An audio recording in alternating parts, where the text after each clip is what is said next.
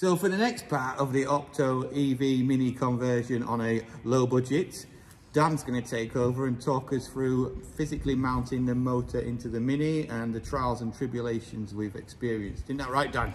Yes.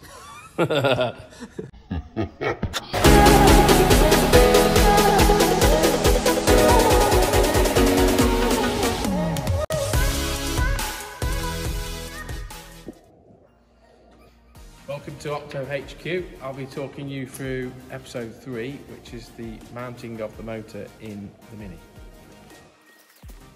Okay, so in- initially we thought we were going to use the Mini gearbox with the Mini drive shafts, standard engine mounts, gearbox mounts, all sorts of advantages like that, with the medium motor mounted on the top. The disadvantage of that system was that the gearbox has to stay wet, lubricated. Motor ideally needs to be dry, so we've got a problem here basically where this pot needs to be wet, this pot needs to be dry, and we need to connect the drive line together. So at that point, we decided from an engineering point of view, it wasn't achievable.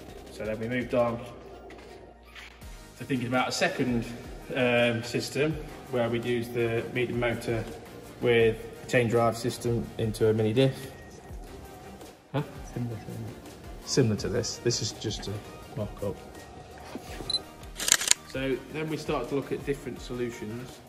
Um, one evolution of this being to try and use a chain driven diff, something like this. Um, advantages of, of it that it's quite simple to adapt the two together. The disadvantage is you then got to basically try and hold all this and the motor in some sort of subframe. You've got an exposed chain, you've got the noise from the chain, lubrication of the chain. It's just quite agricultural. Ideally with this one, you would use the standard mini diff, which would then probably find its limit because you would have 200 newton meters of torque from the motor driving through that diff.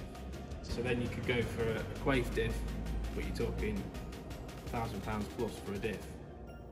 So we then moved our design thoughts towards the actual basic motor and how it was coming out of the original donor vehicle, realising it's actually got a gearbox and a differential fitted to it. So that will be very similar to what we've been working with previously with the Tesla small drive units. So it's motor, gearbox, differential.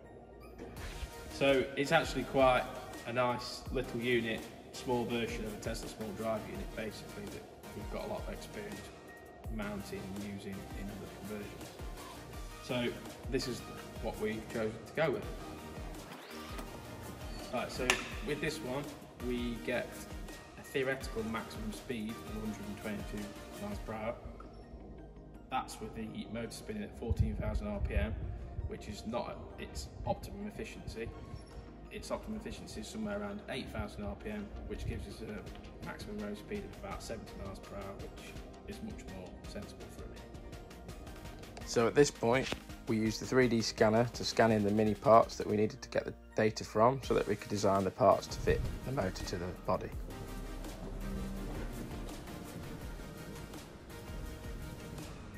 Here we can see we've picked up the surfaces from the scan and we've used that to design the mounting points for the motor. We also used FEA to check the design was strong enough and able to withstand the forces that are going to be exerted on it.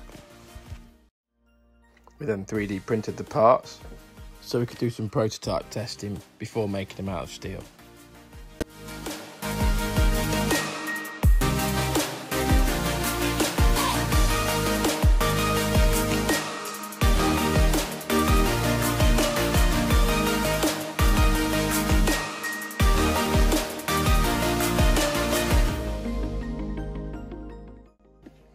Thanks for watching. Um, please give us a like, share, comment, follow all the Insta social stuff you can do. Would be great and muchly appreciated. Uh, look out for episode four.